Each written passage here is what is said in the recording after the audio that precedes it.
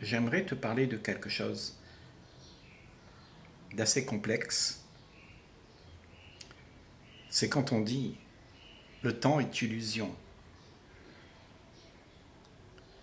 Tout ce que nous avons comme activité, c'est de l'illusion. Parce que cette activité, elle représente euh, nos désirs, nos convoitises. Et nous cherchons le temps qu'il nous faut en être assouvis. Et en fait, toute cette démarche, c'est une fausse démarche.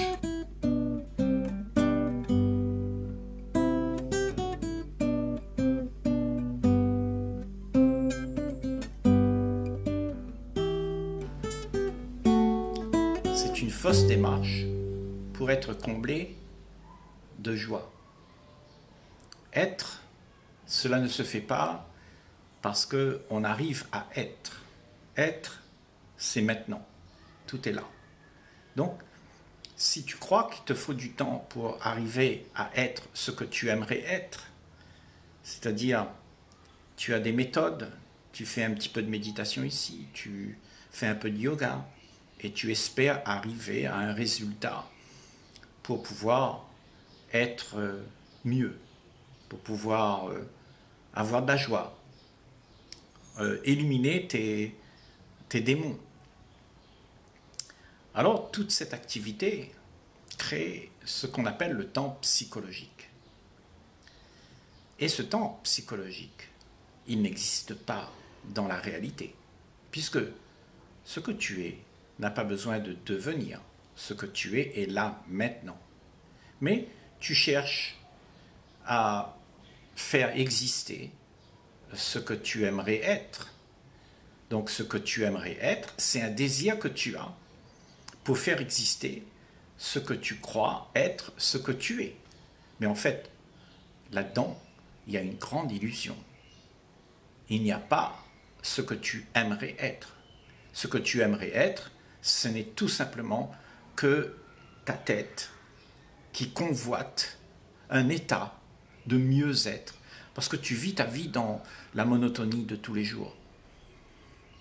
Donc, le temps, pour la plupart d'entre nous, sur cette belle planète, est devenu très important. Nous ne savons pas vivre dans l'instant où tout se joue. Parce que c'est là vraiment où ça se passe, la vie. Ce que tu es n'a pas besoin de demain pour pour être. Mais toute la propagande de l'existence nous a fait croire qu'il y a quelque chose à atteindre. Mais en fait, il n'y a rien à atteindre. Donc c'est quelque chose que nous faisons et nous le faisons en dépit du bon sens puisqu'il n'y a rien à atteindre et nous voulons faire exister ce qui n'existe pas en fait. Alors que tout est là, maintenant. L'univers entier reflète ce que tu penses. Quand tu fais la découverte de toi, tu découvres ce que l'univers est. Et l'existence de l'univers n'a pas pu être faite avec une existence matérielle. C'est-à-dire que tout ce que l'univers est maintenant, que nous connaissons, c'est-à-dire tous ces étoiles, ces nuages, cette terre, les planètes, tout ça, ça a été manifesté à partir de rien. Et tout ça, c'est devenu de la matière que nous pouvons toucher, voir, et puis euh, nous pouvons interagir avec cette matière. Et la matière aussi interagit avec nous. Et en fait, nous sommes en relation avec le monde qui nous entoure, avec l'environnement. Et cette, cette relation, elle, est notre monde matériel, ce que nous avons acquis. Nous avons pris cela comme argent comptant. On s'est identifié à ce qui est matériel. Et en fait, on s'est attaché. Parce que en s'identifiant à ce qui est matériel, on s'en attache et on fait en sorte que ça puisse encore exister. On a peur que ça s'arrête.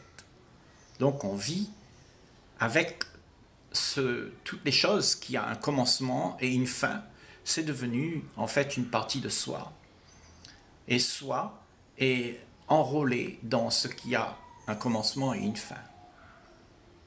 Parce que nous ne savons pas autre chose. Nous, nous sommes incarnés dans la matière. Et la matière, c'est la seule chose que tu connais.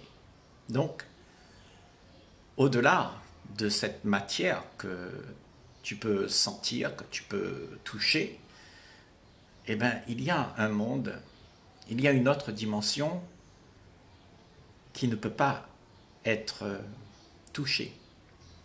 Elle est immuable, éternelle.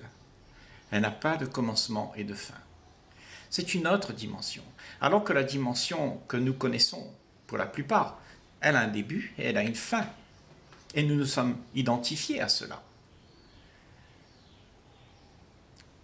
Et au-delà de tout ça, il y a une grande liberté de ce que le temps propose, de ce que la matière propose. Parce que tout ce que tu connais de la matière, tout ce que tu as appris dans ce monde, c'est limité. Tu ne pourras pas dépasser tout ce que tu connais. Il te faudra encore du temps pour apprendre, pour pouvoir connaître et puis l'utiliser. Donc, tout ce que tu connais, tout ce que tu as appris, c'est limité. Et au-delà de cette limite, il y a une autre dimension. Et pour aller dans cette autre dimension, justement, il faut que tu abandonnes, il faut que tu sois hors du temps, le temps que tu t'es proposé d'avoir. C'est-à-dire toutes ces envies, toutes ces histoires, toutes ces courses que nous faisons pour attraper nos désirs, pour concrétiser nos envies. Donc tout ça, ça crée le temps. C'est ça le monde du temps, qui n'existe pas, parce qu'en en fait, il n'y a rien à prendre ça existe. C'est une réalité, mais c'est une réalité qui n'est pas, qui est fictive. Ce qui existe pour de vrai, c'est ce qui est immuable, ce qui est éternel, ce qui n'a pas de commencement et n'a pas de fin. Et toute cette activité n'a pas de mémoire. Il n'y a pas de hier ni demain dedans. Donc, il faut sortir de ce temps que tu crois être très important, c'est-à-dire mon passé, euh, mon présent et ce que je ferai demain. Parce que tout ça, ça fait rentrer toute l'activité de l'esprit dans un enrôlement matériel qui se répète tout le temps. Mais quand tu es au-delà de tout ça, quand tu t'extirpes de ce monde matériel, c'est-à-dire que tu prends conscience à tout ce qui se passe, tout ce qui se joue, tout ce monde de temps, toute l'activité que tu as, tu peux le regarder comme si tu te voyais en train de vivre cela. Donc tu t'éloignes de la scène qui est jouée et tu regardes et en fait, tu te vois en train d'être ce que le temps fabrique. Et tu peux voir à ce moment-là que ce que tu es est la perception qui vient de ce qui est immuable. Celui qui regarde tout ça, c'est quelque chose d'immuable, qui n'a rien à voir avec le temps. Le temps passe, mais lui, il reste. Cette perception reste toujours paisible. Parce que cette perception, elle est ordre. Cette perception, elle a un impact dans le monde matériel.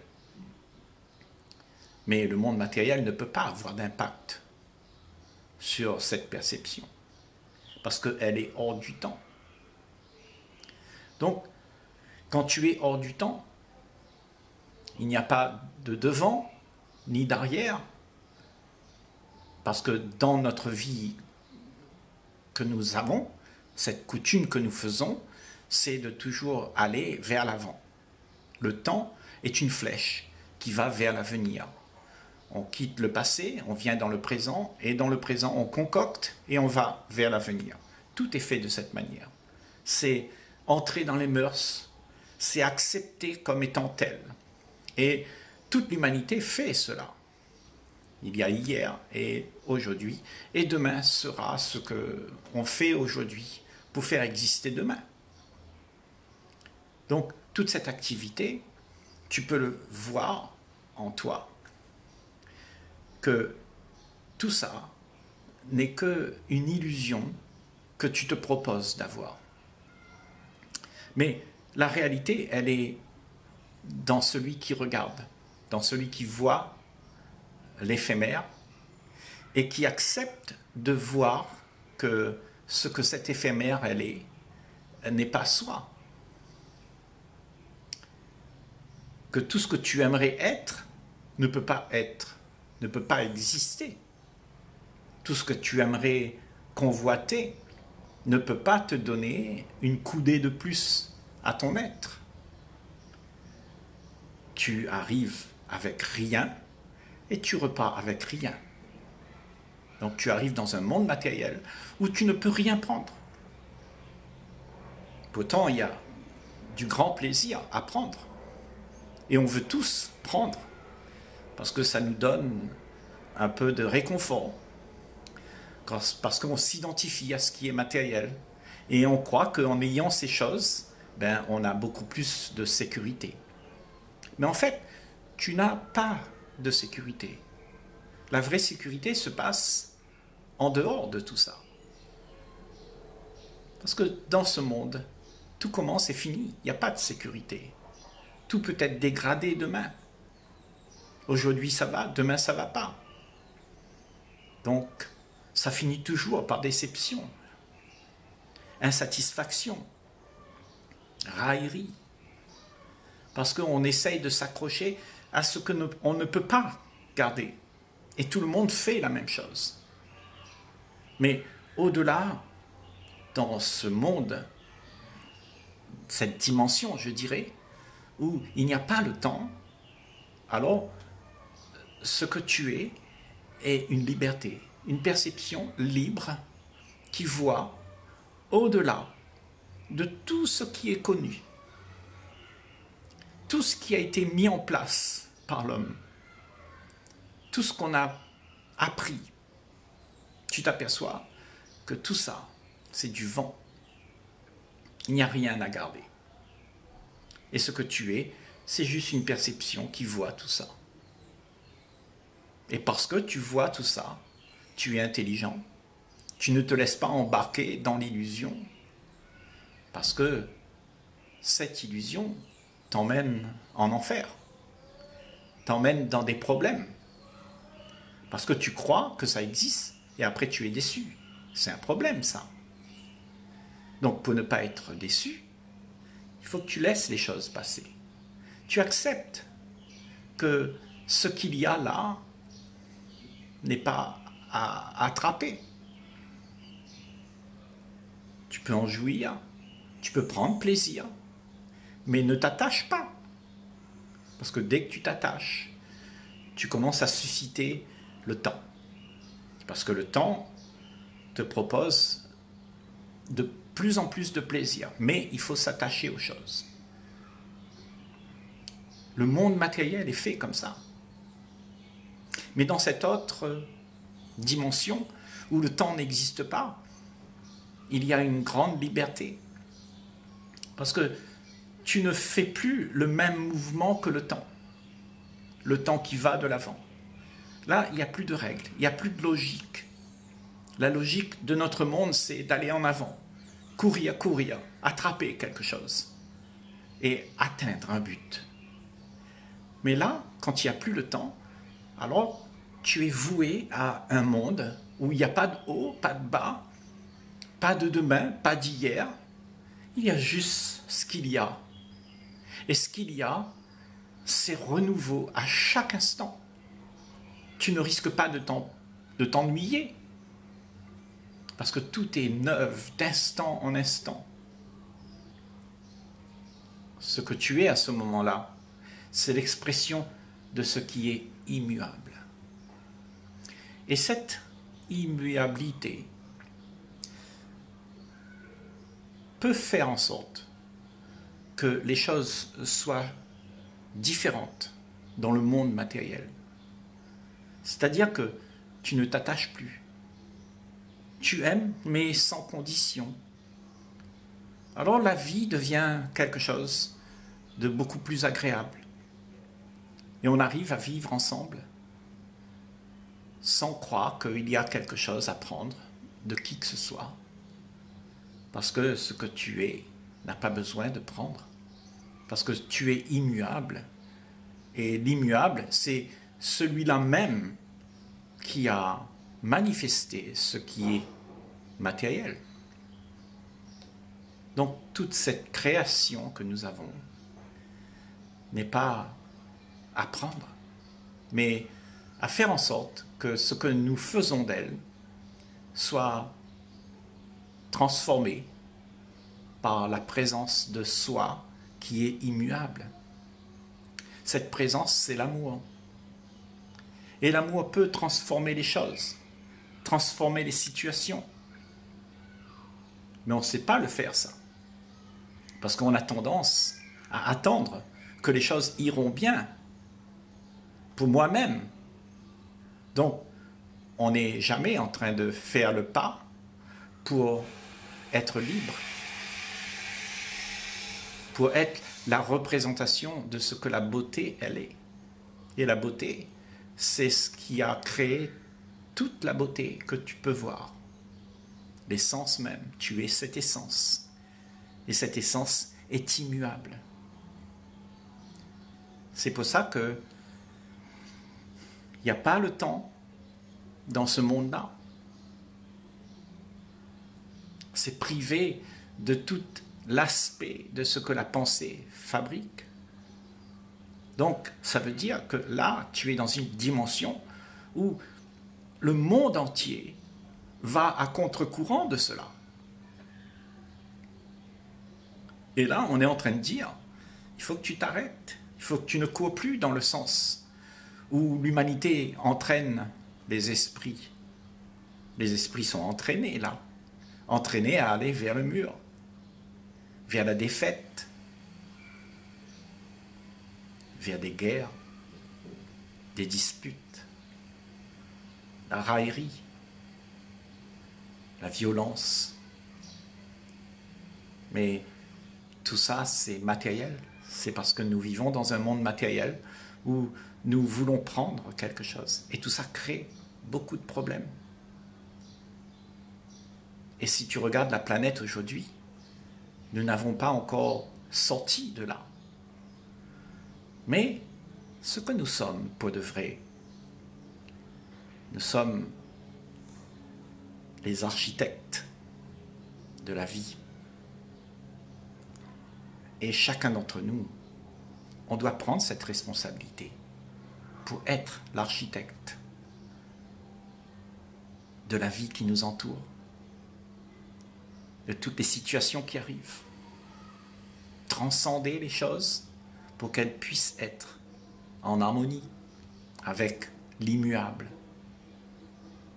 N'est pas voué à un destin où tout, tout le monde court vers sa perte. Et pour cela, il faut que le temps cesse, que ta tête cesse de courir vers ce que tu aimerais gagner, parce qu'il n'y a rien à gagner.